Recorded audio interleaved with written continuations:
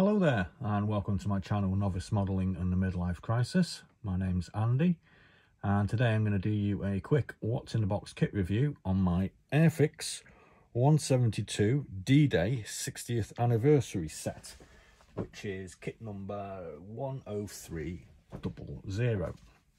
Now I recently bought this off um, eBay for around about £65 with the postage and as we can see it's the 60th anniversary set um, we're coming up to uh, June 6th and obviously uh, it's 80 years since D-Day. So as we can tell this is 20 years old.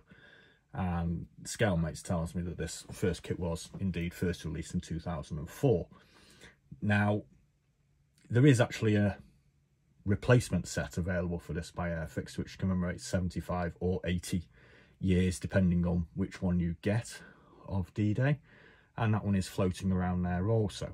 So obviously the kits might vary and they do actually vary quite considerably from kit to kit. But uh, let's uh, get ahead and let's get the box open and see what I've got in mine now as we can see we get this nice little uh, Airfix issue 1 Overlord 6th of June 1944 which is basically essentially a sort of reproduction uh, newspaper for us to read, to give us some basic information on what's going on. I'm not going to bother reading that out because I'm sure you guys are all pretty much aware of what actually happened on this particular day. Um, as you can see, as per usual, I've actually uh, applied myself some uh, beverages to help me along the building process. Uh, first off, we've got the instruction manual, which strangely actually says Heller at the top and has a different uh, kit number 52604 um, this is because this uh, kit was released in conjunction with Heller. Um, basically there are Heller ones available out there. Uh, they aren't as numerous it appears as the Airfix kit. Uh, like I said this one cost me about 65 pounds with the postage. The only Heller complete Heller kit I've been able to find is going for about 100 pounds on eBay so um, if I were you, I'd get the Airfix one because there are a few of them and it is it is going for around about the same sort of price as I paid. So in the uh, instruction book, you can see we get a whole bunch of uh, decals, which are American and German, obviously. So we get them. They look all to be in similarly in reasonably good condition. We've got our instruction kit, which is basically a compendium of instructions for all the various items that we have in the kit. So there's not, they're all pretty basic kits. So I mean, it's all going to be reasonably easy to find. I'm not particularly into 172 scale, but this is what's available to commemorate D-Day. So the uh, first item we can have a look at is this one is going to be the LCM Mark III landing craft and as we can see that comes with a base unit for the boat comes with sides comes with a couple of crew members a little um, wheelhouse and various other parts. All these are actually sealed in the bag so no one's actually touched it. We have two bags of American infantry. Uh, they do appear to be different sets. Obviously one of them as you can see comes with this rubber dinghy I'm pretty sure not many of the um, the US uh, Army uh, approach the D-Day coast in rubber dinghies, but we got a rubber dinghy anyway. And we get a whole bunch of other guys in this bag. We also get two bags of German infantry. I'm not exactly sure what the actual kit, the actual figure count is, but I'm thinking it's about four I'm thinking it's about 40 per bag because there's four sprues and it looks to be about 10, 10, 10, 10 air figures per. So we get about 80 figures by the look of it, so that's pretty good. We've got a little uh, Club Airfix. Uh, join the official Airfix Club for 12.99 a year. Pretty sure it costs a bit more than that these days. Uh, we get a German 88mm anti-tank gun with a FAMO artillery tractor. So that's a nice little kit, and as we can see, the tracks are to be added. They look quite nicely detailed. The tired wheels are quite nicely detailed. It comes with a couple of crew members. So we get that one. We get a, let me just consult my notes here, a GMC CCKW353 truck with some um, windows, clear plastic parts. Again, looks pretty pretty well detailed to me. Pretty easy to go together. Crew member there as well. We also get a DUKW amphibian, which is, well, basically a truck that's also a boat. So we get one of those. That's an interesting little kit. We get a Sherman tank. Now I built a um, Airfix Sherman the other day. Sherman Firefly, and this doesn't appear to be quite as well detailed as that one, but obviously this is a 20 year old kit, so we are going to get some variances. Here we have the uh, Willys Jeep and trailer with a couple of crew members again. There's the trailer part that we can see there and the bucket for the trailer. And again, we've got our uh, clear plastic parts for the windows. This one also comes with a rather basic looking German ME109. So we can have that displayed attacking our forces as they land on the beach.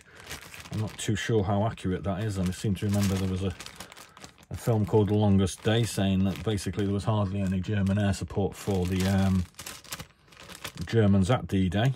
But we get that as well.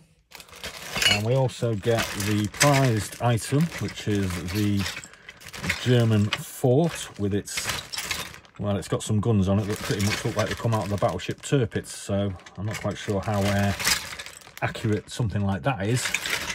It's not really accurate to what I've videos that I've seen of uh, D-Day, but it's a really, really interesting addition. So we get that.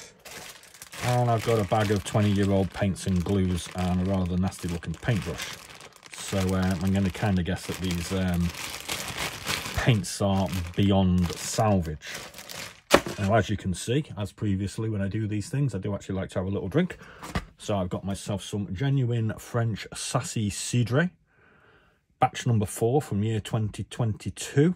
So I've got a nice two-year-old 12 bottles of this. Cost about 30 quid. So I'm quite looking forward to trying that. I've also got some Pacory Normandy pear cider. Oh, incidentally, this is from Normandy also, so we are staying in theme. It's not just French, it is Normandy. And we've got some pear Poiré Domfront. Uh, again, this is cider.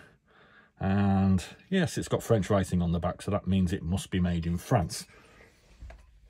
We've also got Pacory Le Cidre, uh, Brut et Fermier, which again, this is just standard apple cider. That looks rather nice and we do actually have ourselves a bottle of Calvados.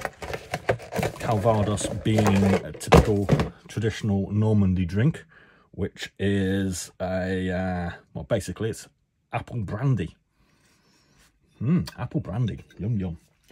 Now, the only thing, the main difference that I can see between this and the current Airfix offering, which is, um, let me just have a look here the current Airfix kit you can buy is A50162A, which is released in the past five years and re-released this year, is you do actually get a diorama base with that particular kit. There is no diorama base with that, so you can weigh that up two ways. And obviously the diorama, diorama base is only going to be the size of the box. So it is kind of limited in its usability when you're getting so many kits. Everything's going to be very cluttered and very together. So, I mean, getting that, I don't really consider it to be that much of a big deal. Um, I've actually got these things, which uh, came with a recent delivery of beer off uh, Amazon. I've got four of these, and I'm kind of thinking that if I was to sort of papier-mâché into these gaps here, they'd actually make pretty good cliff uh, tops for my um, coastal fort to go on. So I've got four of those and I've got a space which is sort of six foot by four foot that I can put a top on, And I could actually probably make myself a pretty cool diorama with a few of these in the background with my coastal fort and my um well yeah my troops on it on it as well so there we go. We've also got a few other plans to uh, keep us going over the next 10 days because i'm off for 10 days. Uh, we've actually acquired not one of these uh, new issue d-day assaults but two of them. Um, I can confirm that the uh, the items in the current offering are slightly better quality. Um, however, let's just say the base that you get is not exactly great. So I'm not that bothered, like I said, about not getting that. So I've got two of them to play with. And because I'm drinking uh, Calvados at some point, I thought I might as well have a go at MiniArt's 135 38071 Calvados cellars, which uh, is an interesting little uh, side project. So there's plenty going to be going on on my channel over the next 10 days. So uh, please do like and subscribe.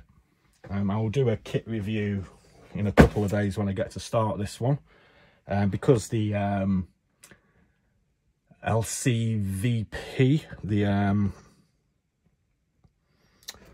the amphibious um, the troop transport there is actually represented in both kits it's and the jeep obviously with the trailer.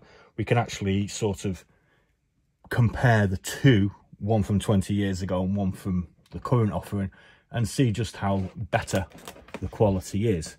But um, having done a quick um, look at what you actually get with the new d-day kit you do actually get more stuff with this one. I actually count 13 items in this kit compared to 11, including our pretty probably pretty naff diorama base in the new kit, which goes for around about the same sort of price. So you have to sort of weigh the two up as to, I suppose, which one's better value for money. You know, you get more kits with this one as you do to, to the new one, but the quality is probably going to be better on the new one. So that's something to think about. They do pretty much cost about the same price. So anyway, yeah, uh, thanks for joining me on my little uh, kit review today. Um, I'll be seeing you later on with some, uh, I'm going to do some building, I suppose, and we'll see how we go. So please do like and subscribe and join me for my model building ride. Whether I actually get all this finished by June the 6th is quite debatable. If you watched my um, previous attempt at building lots of things rapidly, which I called uh, Land of the Rising Sun Week, which was a load of um, Japanese aircraft, we really, really didn't do very well. In fact, we still actually haven't really finished our aircraft off from that, and that was about three weeks ago. But these are a bit more simple. They're only really one colour, so hopefully we might get most of the way there in the next six days. So uh, thanks for joining me, and be seeing you.